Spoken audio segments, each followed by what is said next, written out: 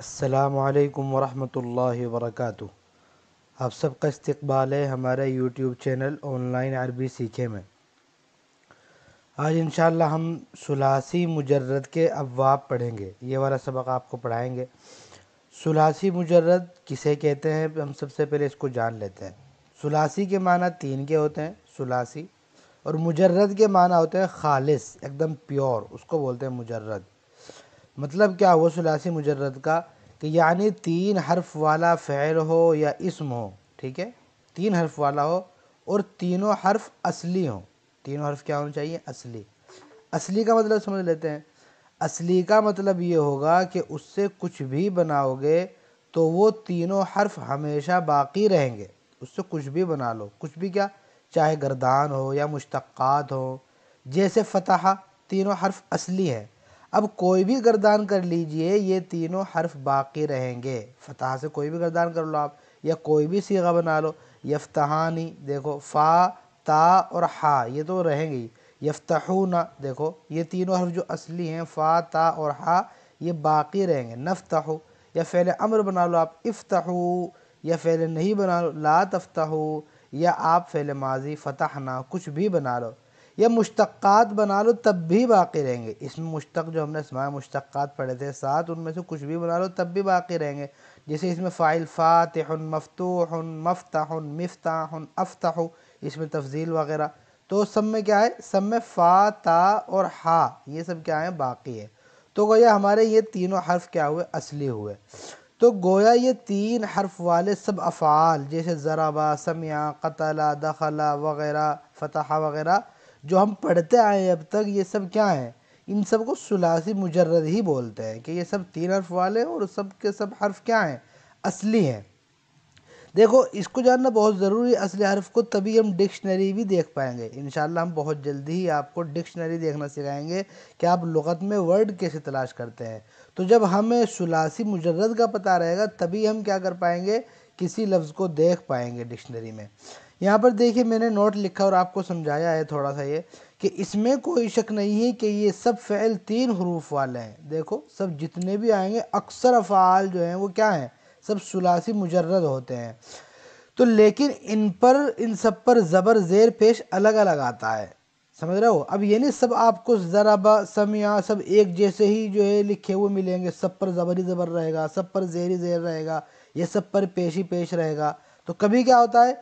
कभी माजी में बीच वाले हर्फ यानी आन कलमे पर ज़बर होता है।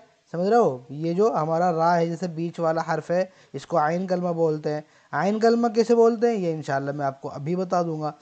कभी ज़ेर होता है, कभी पेश। इसी तरह मुजारे में आखिर से पहले वाले हर्फ यानी आयन कलमे पर भी कभी ज़बर, कभी ज़ेर, कभी पेश होता है।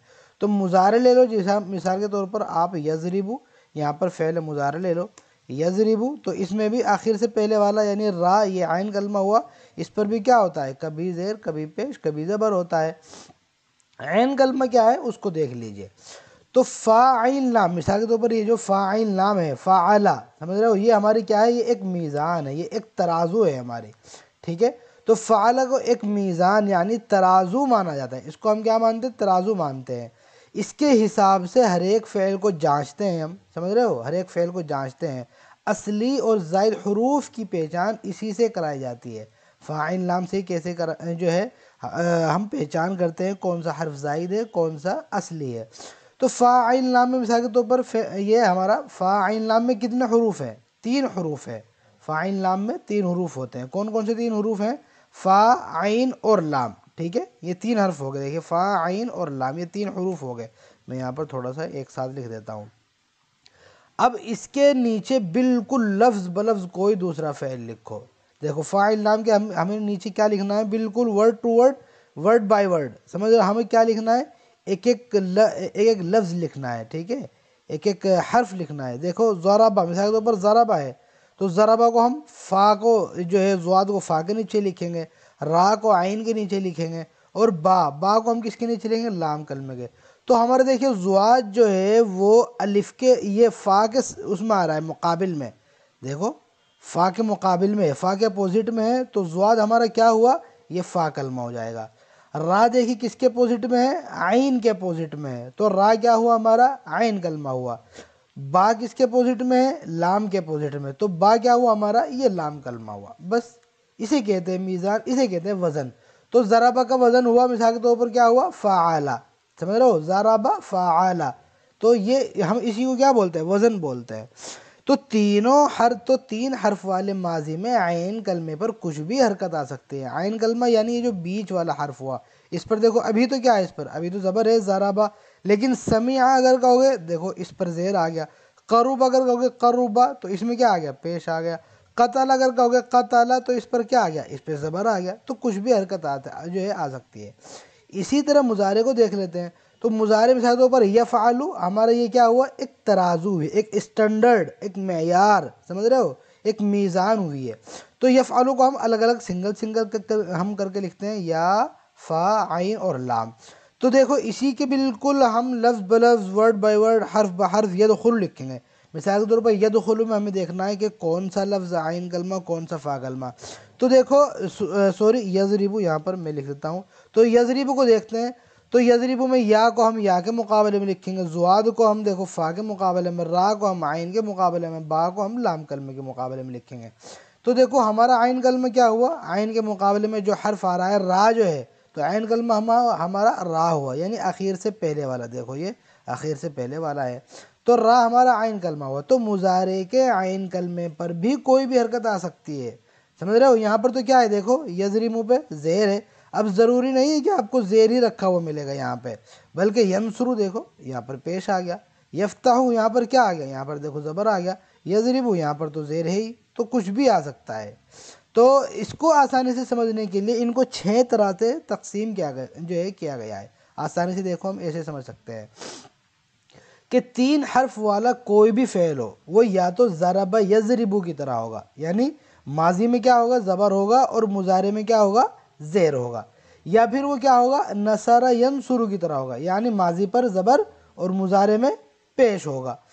या फिर समिया यसमाओं की तरह होगा, यानी माजी में ज़ेर और मुजारे पर ज़बर होगा। या फिर देखो फ़तह यफ्तहू की तरह होगा, यानी दोनों पर ज़बर होगा। या फिर करुमा या कुरुमु की तरह होगा, यानी दोनों पर ही पेश हो सकते हैं, या फिर हसीबा या हसीबु की तरह होगा, यानी दोनों पर ज़ेर। तो इस तरह से छः हिस्सों में छः अबवाब में इसको हमने क्या कर दिया है? तकसीम कर दिया है। देखो, यहाँ पर कोई भी फ़ेल लिख सकते थे, हम ज़राबा की जगह हम कुछ और भी लिख सकते थे, लेकिन ये जो मैंने यहाँ पर फ़ेल लिखे हैं, ज़राबा नसरा, ये हमारे क्या हुए, इनको हमने एक स्टैंडर्ड बना लिया है, एक मैार बना लिया है। जिस तरह फ़ाल या फ़ालू को हमने, फ़ाइन लाम को हमने क्या बनाया था, एक मीज़ान स्टैंडर्ड बनाया था। तो इसी तरह अबवाब में ये जो फ़ैल हैं, ये हमारे क्या माने जाते हैं? ये हुज्जत माने जाते हैं। इनको हम क्या मानते हैं? अबवाब मानते हैं। तो देखो, इसके बारे में हम ये समझाना चाह रहे हैं। इनको क्या कहते हैं? अबवाब कहते हैं। ठीक है? तो अबवाब कैसे कहते हैं? जैसे, मिसाल के तौर पर इनको हम कैसे कहेंगे? जैसे बाब ज़ाराबा। हम हम ऐसे बोलते हैं। भाई, बाब ज़ाराबा, बाब नसारा। समझ रहे हो? और इसको क्या बोलेंगे? बाब फतहा, बाब करूमा। तो ऐसे हम हम, हमने इनका नाम क्या कर दिया है? चेंज कर दिया इनको बाब करोमा, बाब हसीबा। बाब की जब क्या आती है? अबवाब आती है। तो गोया सुलासी मुजरद के छः अबवाब होते हैं। तो आपसे अगर कोई पूछे या आप कहीं तलाश करना चाहे किताब में तो आप इनको कैसे तलाश करोगे? सुलासी मुजरद के अबवाब तो ये अबवाब हो हमारे। देखो तो ज़रब यजरिबू की तरह बहुत सारे फेल हो सकते हैं। मिसाल के तौर पर ज़रब यजरिबू की तरह गसाला यग सिलू भी हो सकता है। गसाला यग सिलू देखो बिल्कुल माजी में क्या है? ज़बर है और मुजारे पर ज़ेर है। तो गसल यगसिलू कौन से होगा? ये ज़रबा यजरिबू से होगा। देखिए, इसी की मशक हम थोड़ी सी यहाँ पर कर लेते हैं। देखो, यहाँ पर सबसे पहला गसल यकसलू था। तो हम इसको क्या कर देते हैं? ये हमारा कौन से से हुआ? माजी में ज़बर, मुजारे पर ज़ेर तो गसल यकसलू ज़राबा, यजरबू की तरह हुआ। तो बाब ज़राबा, यहाँ पर हम लिख देते हैं। देखो कभी कभी क्या होता है? आपको किताबों में खाली पूरा बाब ज़राबा लिखा हुआ नहीं मिलेगा। आपको खाली बिल्कुल शॉर्टकट में जो जवाद लिखा हुआ मिलेगा ज़राबा से। तो उसी से आपको समझ जाना है कि जवाद से मुराद है ज़राबा या ज़रीबू से हमारा ये फ़ैल है। देखिए, करूबा या करूबू बताइए, कौन से बाब से है? करूबा या करूबू। पहले आप इनको एक बार याद भी कर लीजिएगा, थोड़ा सा जहन में बैठा लीजिए। हसीबा या हसीबू करूमा या करूमू फ़तः यफ्ताह समय आसमाऊ ये अबवाब याद करने बहुत ज़रूरी है। हिफ्ज़ याद होने चाहिए आपको छः समझ रहे हो? तो ये करूबा या करूबू, दोनों में पेश है। तो दोनों में पेश है तो यहाँ पर देख लेते हैं, ये करुमा या करूमू वाला बाब आ रहा है। देखो, करुमा, इसमें भी पेश, या करूमू, इसमें भी पेश। तो हमारा करुबा यकरुब कौन से बाब से हुआ? बाब करुमा से हुआ।